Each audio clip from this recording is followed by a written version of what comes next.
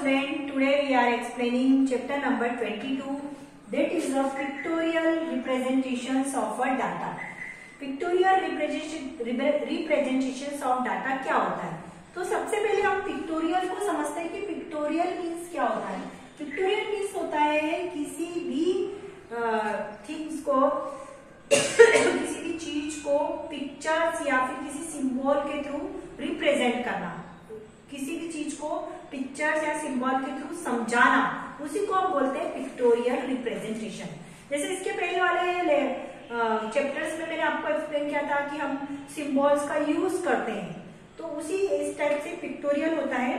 तो representation of numerical data by using pictures and a symbol is called a pictorial graph मतलब हम जो numerical data होते हैं, जो हमारे नंबर्स होते हैं, उसको हम पिक्चर्स के थ्रू या फिर सिंबल के थ्रू रिप्रेजेंट करते हैं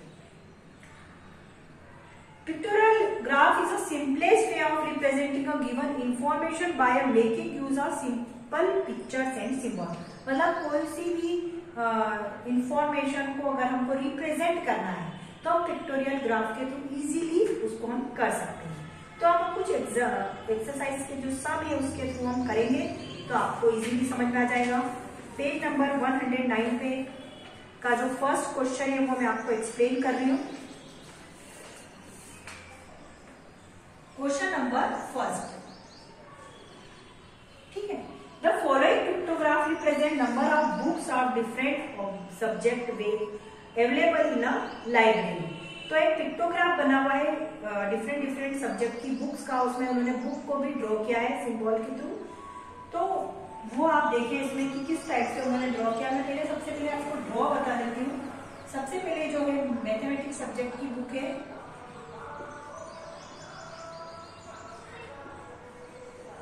मैथमेटिक्स है, उसके बाद में आपका आता है इंग्लिश सब्जेक्ट ये इंग्लिश फिर है हिंदी। फिर साइंस, फिर है कंप्यूटर।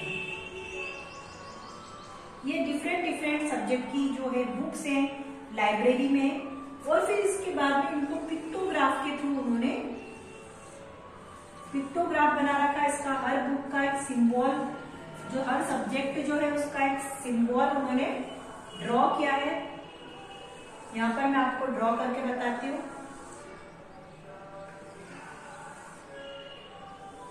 देखिए आप, सबसे पहले मैथमेटिक्स की one two three four five six book उन्होंने बनाई है। One two three four five and ये सिक्स ठीक है? इसको अब आगे तक भी इंक्रीज कर सकते हैं।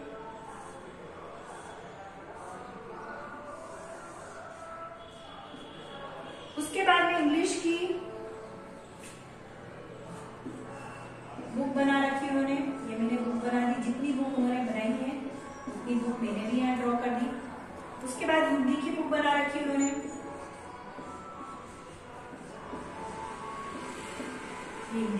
बनाई उसके बाद बनेंगे साइंस की।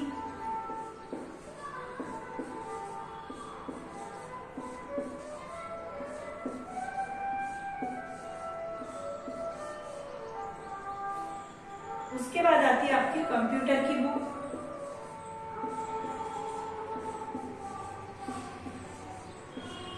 ये इस टाइप से पिक्टोग्राफ आपको बनाना था। अब उन्होंने क्या बोला कि जो one book represent ten book मतलब एक जो सिंबल है, बुक नहीं मान सकते अपन उनको। पिक्टोग्राफ बना रखा ये पिक्टोग्राफ बना रखे। आपको क्या बना रखे? पिक्टोग्राफ बना रखे सब्जेक्ट वाइज तो वन जो है वन अगर आपका जो पिक्टोग्राफ है the following pictograph represent number of books ये नंबर ऑफ़ बुक्स को रिप्रेजेंट कर रहा है पिक्टोग्राफ आपका। तो ये जो वन सिंबल्स बना हुआ है आपका, ये जो वन सिंबल है, जिसपे मैंने अंदर क्या लिख रखा? सी रिप्रेजेंट टेन बुक्स कितनी बुक को सी रिप्रेजेंट कर रहा है ये? टेन बुक्स ठीक है? One this symbol represent ten books her book के ऊपर उन्होंने सी लिख रखा है। तो ये जो वन सिंबल से ये टेन बुक को आपको रिप्रेजेंट कर रहा है। मतलब अगर आप एक ऐसा ड्रॉ करते पिक्टोग्राफ तो किसके इक्वल होगा टेन बुक्स के इक्वल होगा। इज़ इट क्लियर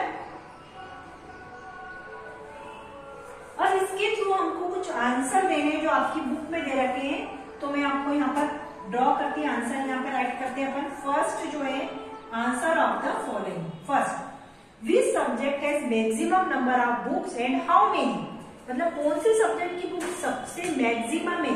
मैक्सिमम में सबसे ज़्यादा है, और वो कितनी है? तो अगर पिक्टोग्राफ को देखते हैं तो इसका जो साइंस की बुक का पिक्टोग्राफ सबसे बड़ा गया है तो हम देख सकते हैं कि जो साइंस सब्जेक्ट की बुक सबसे ज़्यादा है। क्या लिखेंगे आप? विच सब्जेक्ट तो science has maximum number of book तो आप क्या लिखोगे रीजन में? साइंस क्यों पता चला? क्योंकि इसका पिक्टोग्राफ यहीं पे आके खत्म होगा, ये यहाँ पे, ये यहाँ पे। इसका पिक्टोग्राफ सबसे बड़ा गया है। तो science has maximum number of book maximum मतलब सबसे ज़्यादा। कैसे पहचाना? क्योंकि इसका पिक्टोग्राफ सबसे बड़ा गया है। मैक्सिमम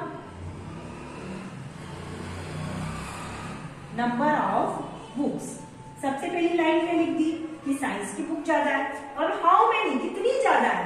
तो अपन क्या लिखेंगे कि वन सिंबॉल्स इक्वल टू कितनी बुक हो रही है? टेन बुक्स हो रही है। ये आपको गिवन में लिखा हुआ है। कि वन सिंबॉल्स इक्वल टू कितनी बुक्स हो रही है? टेन बुक्स हो रही है। तो number of books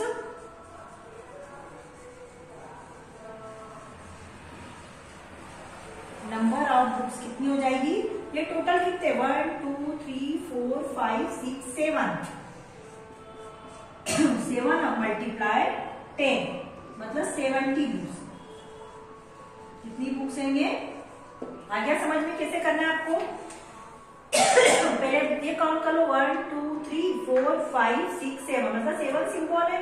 तो सेवन मल्टीप्लाई टेन से मल्टीप्लाई कर देंगे. सेवन टेन सा सेवेंटी तो ये कितना आ जाएगा आपका? बुक्स इज़ दैट क्लियर इसी टाइप से सेकंड क्वेश्चन है. Which subject has minimum number of books and how many minimum मतलब सबसे कम. मिनिमम का मतलब होता है सबसे कम, मैं यहाँ पर राइट कर देती हूँ। मिनिमम मतलब होता है सबसे कम। अब किसका पिक्टोग्राफ सबसे छोटा आ रहा है? हिंदी का। हिंदी का पिक्टोग्राफ आपको देखो, यहाँ पर ही खत्म हो गया है। लास्ट हो गया है तो आप क्या लिखेंगे? हिंदी सब्जेक्ट इसका आंसर क्या लिखेंगे? Hindi Hindi subject has Hindi subject has minimum minimum number of books Hindi subject है मिनिमम नंबर ऑफ़ बुक्स कितनी है? कितनी है हिंदी की pictograph one two three four ठीक है? तो आप लिखोगे number of books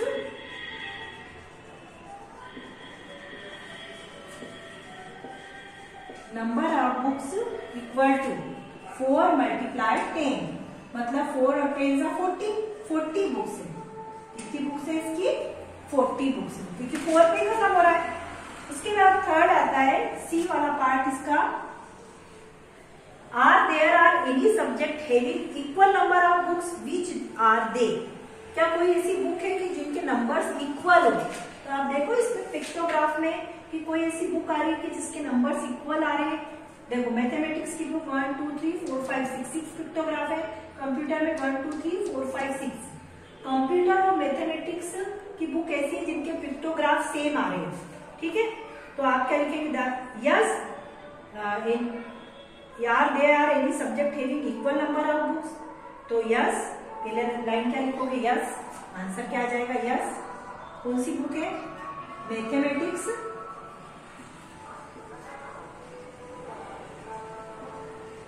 mathematics and computer.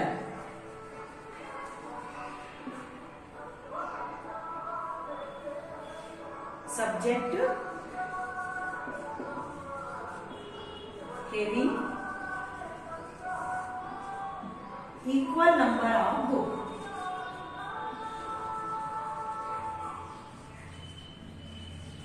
equal number of books. ठीक है, आप इक्वल नंबर में कितनी बुक है देखो one two three six six है तो मल्टीप्लाई किससे कर देंगे? सिक्स मल्टीप्लाई टेन मतलब दोनों की कितनी बुक्स है आपके पास? सिक्सटी बुक्स है। दोनों की बुक्स सेम है सिक्सटी सिक्सटी बुक्स ठीक है? अब डी पार्ट आता है how many books are available for English English के लिए कितनी बुक्स अवेलेबल है?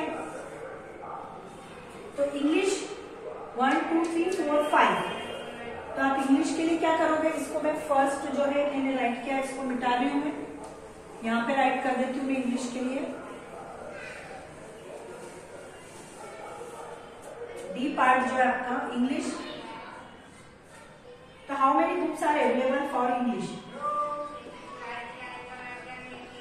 तो number of books